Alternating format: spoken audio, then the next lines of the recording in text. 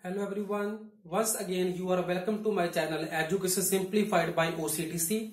Here OCDC means Overall Child Development Company. So friends, I am Vinod Garg and I am your coach for advanced level biology for any competitive and board exams. I am also the coach for psychology exams for various exams like uh, PSTET and others. And I am the coach, coach for memory training also. I give training for 22 methods of uh, memorising the things permanently ठीक है friends तो सबसे पहले मैं कहना चाहूँगा कि अगर आप रियल एजुकेशन में बिलीव करते हैं instead of a readymade education then you should subscribe my channel immediately so friends हमारे आज के सिनेरियो में जो स्कूल्स हैं दैट इज़ द जिसके जो नेम्स है बेसिकली वो नेम रखे हुए हैं world school national school international school but उसमें जो लर्निंग है वो किसी भी लेवल की नहीं है, क्योंकि अगर लर्निंग रियल में इन स्कूल्स में नेशनल लेवल की या इंटरनेशनल लेवल की होती तो कंपटीशन में हर हर जो बच्चा है वो हमारा सक्सेस लेता, लेकिन ऐसा नहीं हो रहा। सिर्फ़ चुनिंदा जो बड़े घरों के बच्चे हैं, जो ऑलरेडी जिनके पेरेंटिंग अच्छी है या जो मतलब पेरेंट जिनकी बैकग्राउंड अच्छी है, सिर्फ़ वही सक्सेस हो रहे हैं। हर कास्ट का बच्चा, हर इकोनॉमिक लेवल का बच्चा जो है वो सक्सेस नहीं हो रहा। उसका रीजन क्या है कि स्कूल में रियल लर्निंग नहीं हो रही। सिर्फ़ रेडीमेड एजुकेशन जो रेडीमेड क्वालिफिकेशन है बेसिकली वो दी जा रही है। और सिर्फ़ और सिर्फ़ बच्चों की परसेंटेज के ऊपर फोकस किया जा रहा है। तो वो फोकस जो है परसेंटेज के ऊपर, वो रियल लर्निंग नहीं है। वो परसेंटेज बिल्कुल फेक परसेंटेज है, जिसमें क्या होता है कि रेडीमेड बच्चे को क्वेश्चन दिया जाता है रेडीमेड आंसर दिया जाता है। लेकिन बच्चा को ये पता नहीं होता कि एक्चुअल में वो आंसर आया कैसे। ठीक है फ्रेंड्स तो अगर आप सच में मेरे इस बात से एग्री हैं और ये मानते हैं कि आपके बच्चों को एजुकेशन ही चाहिए तो आपको मेरा चैनल सब्सक्राइब करना चाहिए। तो हम स्टार्ट करते हैं video of this topic sorry topic of this video तो जो इस वीडियो का टॉपिक है that is the quantasome which very essential topic for the NEET students who are preparing for the upcoming NEET exam which is going to be held on May fifth two thousand nineteen okay and it is also essential topic for class nine and tenth also so friend बताता हूँ मैं आपको कि quantasome क्या होता है। तो quantasome basically क्या है? एक स्मॉलेस्ट फंक्शनल यूनिट है, जो कि क्लोरोप्लास्ट का यूनिट है, ठीक है? जैसे हमारी लिविंग ऑर्गेनिज्म का जो स्मॉलेस्ट फंक्शनल यूनिट होता है और स्ट्रक्चरल यूनिट भी होता है, जैसे हम सेल बोलते हैं तो वैसे ही जो क्लोरोप्लास्ट है क्लोरोप्लास्ट में क्लोरो का मीन्स ग्रीन होता है और प्लास्ट क्या है? प्लास्टिड होते हैं, ठीक है? तीन टाइप्स के होते हैं। एक तो क्लोरोप्लास्ट होता है और एक ल्यूकोप्लास्ट होता है क्रोमोप्लास्ट होता है, ठीक है? तो क्रोमो वेरियस कलर्स होते हैं ल्यूको विदाउट कलर होता है मतलब व्हाइट होता है और क्लोरो मतलब ग्रीन होता है।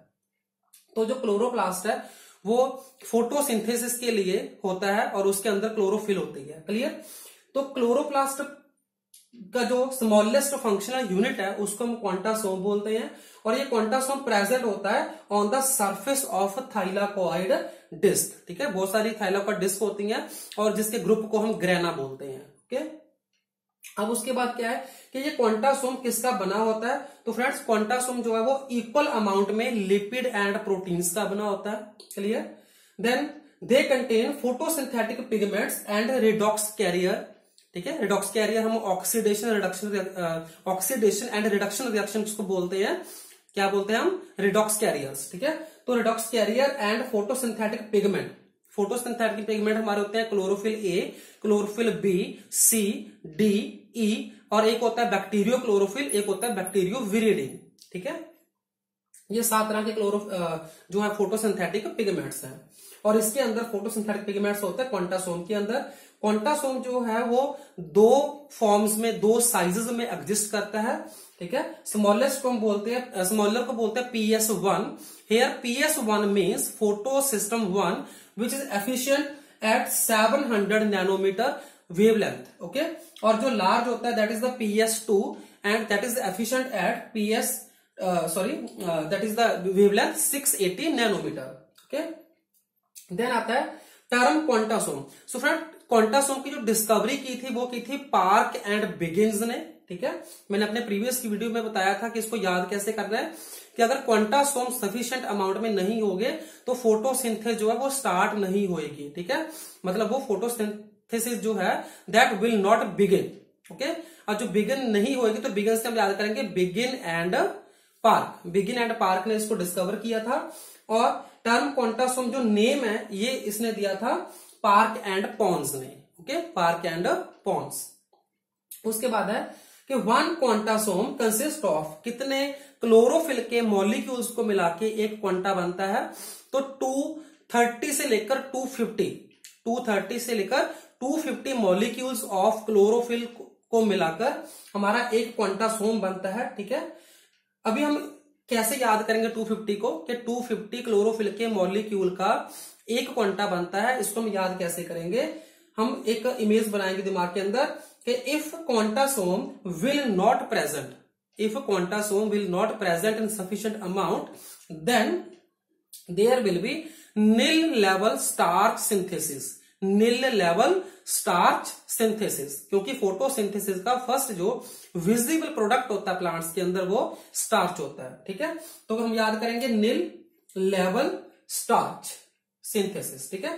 तो एन एल एस एन का जो कोड है वो टू होता है एल का फाइव होता है एस का ज़ीरो होता है। मैं आपको डिस्क्रिप्शन बॉक्स में ये बता दूँगा कि हमने ये कोडिंग कैसे की हुई है। किसी भी जो ऐसे डिजिट्स आ जाते हैं, जैसे 250 है यहाँ पे तो इन डिजिट को याद करने के लिए हमने अल्फाबेटिकल कोड्स असाइन किए हुए हैं। वो कोड मैं आपको डिस्क्रिप्शन बॉक्स में दे दूँगा, ठीक है? उससे आप याद कर लेना एन का कोड टू होता है एल का फाइव होता है एस का ज़ीरो होता है तो आ गया two fifty two fifty molecules of जो क्लोरोफिल है, वो मिलकर एक क्वांटासोम बनता है, ठीक है? अभी उसके बाद क्या है कि क्वांटासोम के अंदर होता क्या है? ठीक है क्वांटासोम के अंदर का रिएक्शन सेंटर होता है, ठीक है? और उस रिएक्शन सेंटर को बोलते हैं क्लोरोफिल ए इसका मीनिंग क्या हुआ कि बाकी जितने क्लोरोफिल जैसे बी या सी या डी है तो बाकी ए को छोड़कर जितने भी फोटोसिंथेटिक पिगमेंट्स होते हैं, वो पिगमेंट्स अपनी अपनी कैपेबिलिटी के अकॉर्डिंगली जो लाइट वेव्स सन लाइट्स जो आती है, उसको ऑब्जॉर्व करते हैं, लेकिन वो सारी की सारी देते हैं क्लोरोफिल ए को, ठीक है? क्योंकि ए जो है वो रिएक्शन सेंटर होता है ओके और क्लोरोफिल ए को फेड करता है harvesting pigment molecules harvesting pigment molecules, ये आगे दो टाइप्स के होते हैं, एंटीने एंड कोर, ठीक है? जो कोर है, वो क्लोरोफिल ए होता है, और जो बाकी सारे हैं, वो एंटीने बोलते हैं उसको, ओके? उसके बाद आता है number of light quanta needed to produce one molecule of oxygen photosynthesis में ऑक्सीजन का एक मॉलिक्यूल बनाने के लिए मिनिमम क्वांटा जो रिक्वायर्ड होते हैं, उसको हम बोलते हैं क्वांटम ईल्ड क्या बोलते हैं हम? क्वांटम ईल्ड ठीक है? तो फ्रेंड्स मैं यहाँ पे आपको बता देता चाहता हूँ क्लियरली बता रहा हूँ आपको कि एक मॉलिक्यूल ऑक्सीजन को इवॉल्व करने के लिए, ठीक है, हमारे पास minimum eight quanta minimum eight quanta होने चाहिए, ठीक है?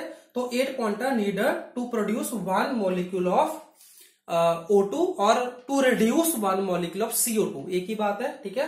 तो हमारी जो प्रोडक्टिविटी निकलेगी, जो क्वांटम ईल्ड निकलेगी, उसको हम करेंगे one by eight that is the twelve percent so this is the quantum yield okay friends तो इस वीडियो में आपने जाना कि क्वांटासोम होता क्या है, वो किसका बना होता है, उसके अंदर हार्वेस्टिंग मॉलिक्यूल्स कौन से हैं एंटीने कोर क्या है, और कितने मॉलिक्यूल्स को मिला के क्वांटा बनता है, और क्वांटम ईल्ड क्या होती है, ठीक है? आई होप आने वाले कॉम्पिटेटिव एग्ज़ाम में ये वीडियो आपको बहुत बेनिफिट देगा और ऐसे ही और बेनिफिशियल वीडियोस देखते रहने के लिए आप मेरे चैनल को सब्सक्राइब करें और शेयर करें कमेंट करें लाइक करें। Thanks a lot